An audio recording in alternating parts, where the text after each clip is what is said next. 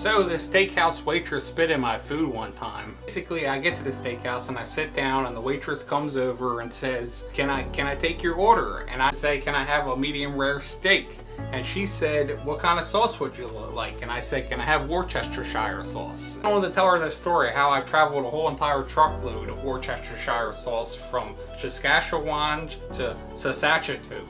As I was driving there, I was barreling along in my truck and I went down this huge careen and I smashed into this Nissan Qashqai with a truck full of rhinocologists. An innocent bystander saw the accident and called 911. The police operator asked what happened. He said it's hard to say.